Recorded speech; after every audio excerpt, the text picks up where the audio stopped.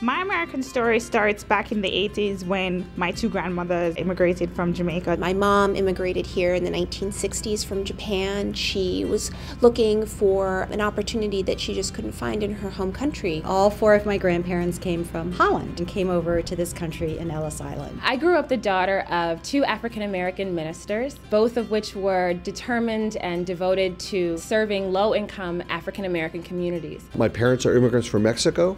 I was born in Texas. My parents taught me to love my country, to want to give back. Well, my American story is the story of my parents. They immigrated to the United States um, from the Philippines because they believed in the American dream. I was among the first students in Charlotte, North Carolina bus to desegregate the public schools there. Change is part of our American story. And I think that by bringing different people together that have different ideas, we come up with better solutions. I mean, that's what America is all about.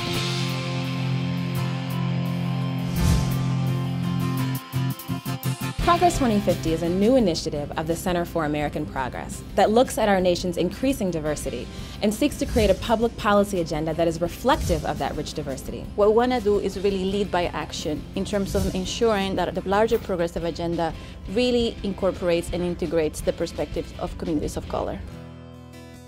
It's important that the progressive agenda have a really strong focus on race and communities of color because so much of our constituency comes from that community. One of the big problems that we have in our country is that so many Americans feel like the American dream isn't for them. We really can't solve the problems that are facing our country unless we tap into the knowledge, experience, ideas, creativity, of the people who are experiencing those problems. We are based on the principles of inclusion and diversity and the common good.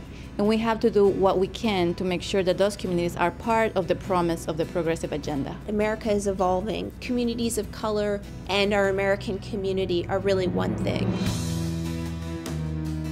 It has always been the American experience to be a racially or ethnically diverse place. This goes to the core of who we are. It's, it's the thing I think we should be most proud of. We don't know yet what this century is going to bring, but it is absolutely clear that how you manage and integrate and deal with diversity will be the core question for any society that wants to be successful. We need to find the policy solutions and policy answers and ensure that every single American feels that they have a stake. Progress 2050 means empowering them to be the change in their communities and in our country. Well, near 2050, we'll be a majority minority country. There will be no us, there will be no them. We will be Americans. And it's going to be important that if we want that year to be something that is visionary, something that has opportunity for everyone, um, that we start working towards that now. My vision for the year 2050 is when uh, we all recognize our differences and we celebrate our differences, but that they're a core part of who we are as a,